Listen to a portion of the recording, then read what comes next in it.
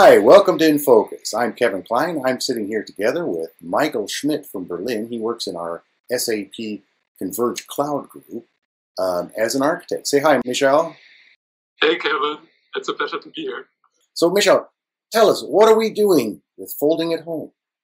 Yeah, so in desperate times, we need desperate measures, and there's never been more experts coming together to focus on a single topic as of right now.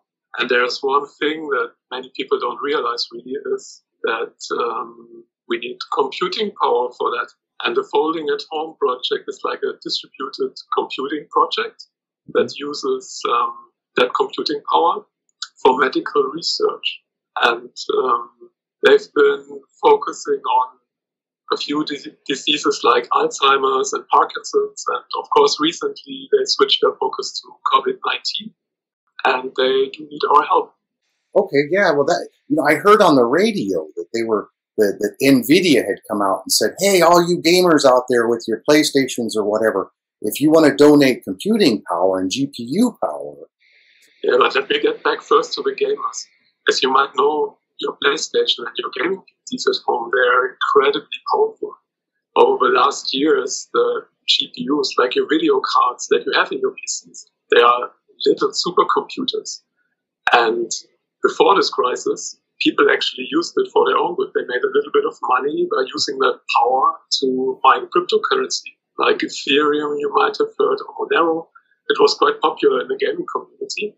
But now, uh, with the social media outcall of NVIDIA, the gamers are actually donating their GPU power to science. And we have in Converged Cloud, which is one of SAP's in-house cloud properties, we have quite a bit of spare capacity. And we hold that back for our customers usually. But um, in this case, we can actually quite quickly reuse it for folding at home projects. And what we are actually donating is uh, CPU powers. So we have a lot of spare CPU capacity. And um, if you all count it together, we have like 55,000 little computers that we are giving to the project. What we're at is we've got a ranking here set up, and uh, uh, uh Oracle is at 606, Amazon is at 358, Microsoft is at 166, and Team SAP is at 161 place of giving uh, donating resources. So I think that you know, congratulations, you guys are doing a great job on. It. Thank you. Yeah, yeah, it's it's really awesome how much we could contribute but Kevin, it's it's not really a competition, right? So yeah. we're all all in this together, and I'm happy that the other companies are spending so much as well. How does the data get from the researchers around the world into our computer systems and back out? So the Folding at Home project is run from Pande Lab at Stanford University, and they are collecting a series of data, and they are uh, chopping it up into work units in small parts that you can chew up. And they're sending this out to all over the world to volunteers who want to try to uh, calculate that piece of work.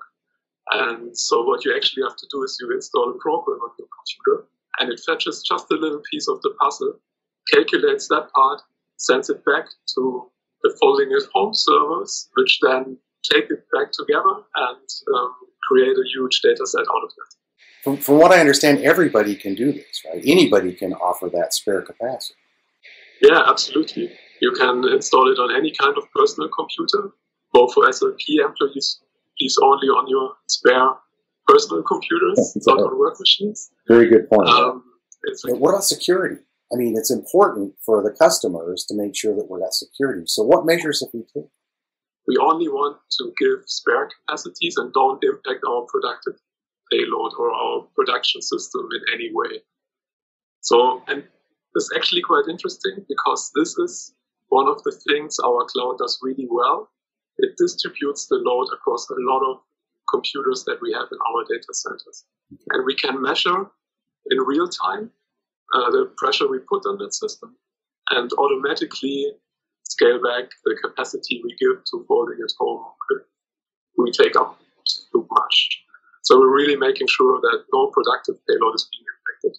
And it's a fully automated system. Um, so I'm quite sure that we that we are fine here security wise. Well, that's good to hear. I'm sure our customers will appreciate that too. Michael, thanks a lot for all the information. Thank you to your team for all your work. I'll let you get back to work because I know you're a busy man. Thanks, Kevin. It's been my pleasure. So this is Kevin Klein saying thanks to everybody out there today. Thank you very much, and uh, we'll talk to you the next time at In Focus.